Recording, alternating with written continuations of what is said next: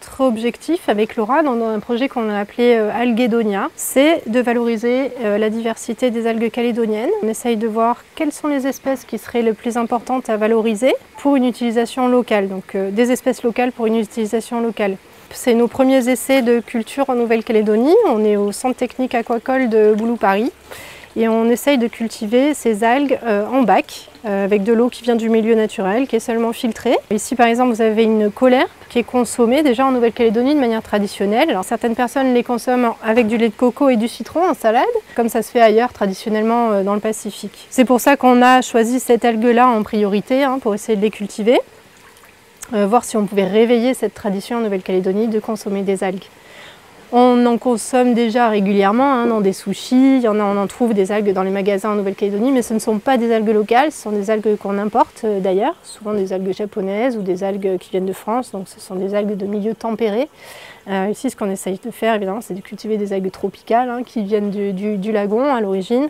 Il y en a plusieurs qui auraient du potentiel, donc soit pour l'alimentation humaine, hein, consommée crue ou cuite. Ensuite, il y en a certaines qui pourraient servir pour l'alimentation animale, et d'autres pour servir d'engrais à des plantes parce qu'elles ont des facteurs de, croissance euh, qui sont intéressants. Donc voilà, le constat avec Laura euh, pour ce, projet d'entreprise finalement, il part du fait qu'en Nouvelle-Calédonie, on ne valorise pas euh, la diversité existante et finalement pourquoi pas? Alors les algues de, Nouvelle-Calédonie ont de particulier qu'elles appartiennent à, à, une flore tropicale mais pas que tropicale, puisque compte tenu de la situation de la Nouvelle-Calédonie, la situation géographique de la Nouvelle-Calédonie, eh bien, il y a une partie de cette flore qui est plutôt tempérée. Donc, euh, ce qui fait que cette flore est particulièrement riche, puisqu'on a des éléments à la fois de flore tropicale et de flore tempérée, voire même froide, au sud de la Nouvelle-Calédonie. Donc cette flore, on estime sa richesse à un millier d'espèces. Aujourd'hui, on n'en connaît que entre 400 et 500 espèces, donc on a fait la moitié du travail. Et ce travail, il a été donc euh, réalisé euh, à l'aide et avec le concours euh, d'étudiants, et notamment de doctorants. Et Lydiane et Laura sont deux de ces doctorantes qui se sont donc consacrés pendant toute la durée de leur thèse euh, à un groupe particulier. J'ai travaillé sur euh, des algues brunes qu'on appelle les sargasses, que certains, vous les avez déjà tous vues échouer sur la plage. Ça fait des petites vésicules, des petites euh, boules comme ça qu'on peut exploser avec, les doigts. Dans les fonds de lagon, ça fait comme des petites forêts, des mini-forêts euh, dans lesquelles habitent les poissons, les tricouriers. C'est un habitat extrêmement important. Et ce que je regardais moi, c'était la diversité de ces espèces. J'ai fait de la génétique pour vérifier le nombre d'espèces qu'on avait en Nouvelle-Calédonie, euh, étudier leur, euh, leur variabilité morphologique et leur écologie. Et donc ici, dans les collections de, l'IRD, il y a une bonne partie de ce qui est sargasse, je les ai récoltées, on les a mis en herbier, je les ai étudiées pendant ma thèse, elles sont maintenant conservées ici euh, à l'IRD. Grâce à l'énergie et puis euh, à, l'engouement de, ces deux jeunes personnes, eh bien, on a co-construit un programme qui s'appelle Safe NC Weed pour euh, essayer d'identifier les algues qui pourraient donc être utilisées en développement socio-économique en Nouvelle-Calédonie. Et mon rôle a été d'accompagner, euh, en m'appuyant sur le travail que j'ai réalisé depuis les années 2000, eh ces personnes dans l'identification des algues qui pouvaient avoir un intérêt euh, dans les domaines euh, qu'elles souhaitaient prospecter.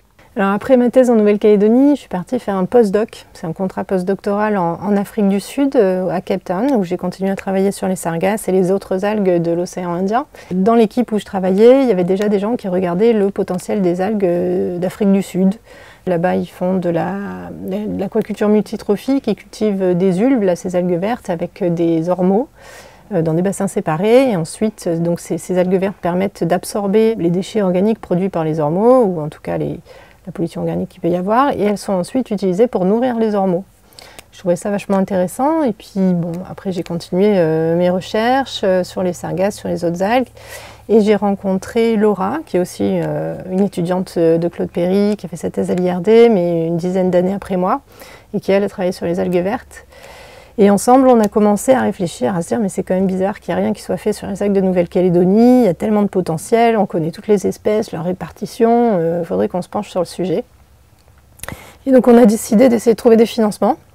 On a écrit des projets, alors les premiers on n'a pas eu les financements, et puis on s'est un peu perfectionné. Et on a fini par avoir des financements qui ont commencé l'année dernière, au mois de septembre, euh, dont l'objectif est de regarder le potentiel des algues de Nouvelle-Calédonie et leur, euh, leur, potentiel contaminant et la, réglementation qui va autour, euh, pour être sûr que si à la fin du projet on recommande des algues à la consommation humaine, animale ou pour les engrais, on n'ait pas de contaminants style métaux lourds qui posent problème. Hmm le poids du petit bocal. Je suis en train de regarder euh, le, poids de nos échantillons. Donc ça, c'est des échantillons d'algues qu'on a ramassés dans plusieurs localités en, Nouvelle-Calédonie.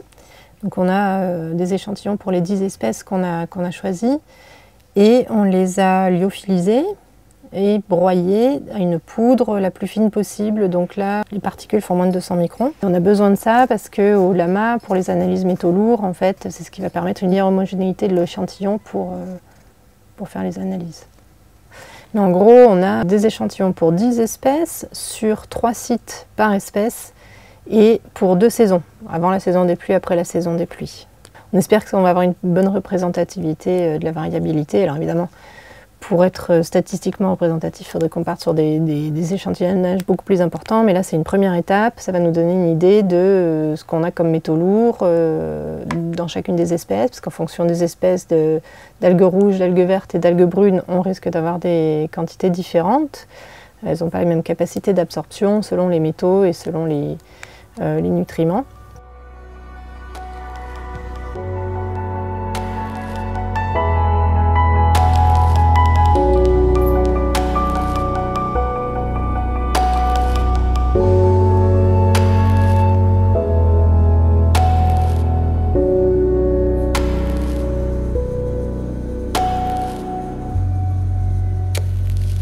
Le prélèvement est en train de se faire. Le mercure arrive au détecteur. Donc on voit que la courbe commence à monter. Après fin de prélèvement, il y a de moins en moins de mercure et ça redescend pour arriver jusqu'au point zéro. Il y aura 45 échantillons d'algues à doser le mercure, plus la gamme de calibration et les points de contrôle réguliers. Ça fera un total de 66 prélèvements. Et on aura aussi des variations en fonction de la saison et des sites de collecte. Si on est plus sur le récif, sur des îlots isolés, des sites à la côte, plus près de la ville, moins près de la ville, etc. Alors, bac bleu. On n'a que ça, hein le reste, on n'a pas de... On n'a pas mis là qu'elle est dans le bac bleu. Non, on a trois. Et on a la, la colère, la, la petite mignonne, CMN6.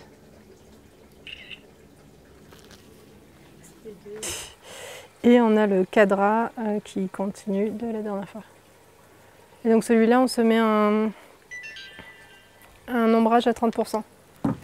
Un peu plus que ça. Encore, encore, tourne. Ouais, parce que tu vois, ce truc-là, il n'a pas le même ombrage. Euh. Et là, on ne veut pas non plus le trou au-dessus du cadre. Donc on tourne. Hop là. Voilà. Nickel. Euh, s'il s'avérait donc en fait qu'on a trop de polluants ou trop de métaux lourds dans les algues qu'on étudie, on aurait aussi d'autres solutions de valorisation et d'application sur ces algues parce qu'elles ne sont pas là seulement pour les consommer en alimentation. On pourrait faire des bioplastiques, de l'engrais pour les plantes, euh, l'agriculture en fait. Il y, a des, facteurs de croissance importants dans les algues euh, qui, permettent de les utiliser à ces fins-là. Du coup, les algues ont besoin de nitrate et de phosphate pour, euh, pour grossir, pour pousser. Ce qui peut être un avantage en biorémédiation, parce qu'elles seront capables de purifier une eau dans lesquels il y a une pollution organique en nitrate et en phosphate. Donc ça peut s'avérer le cas lorsqu'il y a eu euh, par exemple trop d'engrais chimiques qui a été euh, reversé sur des champs et ça s'écoule dans le milieu marin. Donc là on peut avoir des blooms algos qui ne sont pas contrôlés. Avec une culture d'algues, on pourrait peut-être euh, contrôler ces, phénomènes-là. On peut aussi, par exemple, imaginer dans l'aquaculture de cultiver des algues en association avec les, animaux qui sont élevés là, parce que ces animaux produisent des déjections donc organiques dans lesquelles on retrouve du nitrate du phosphate qui peut être utilisé par les algues. Donc c'est un double avantage. Euh, ça purifie l'eau de culture, donc les animaux seraient en meilleure santé. Et on a aussi un milieu de culture enrichi pour nos algues et donc une meilleure croissance des algues. Comme ça, si on fait une, fait une semaine avec un bullage. Donc on va... Oui, ben voilà,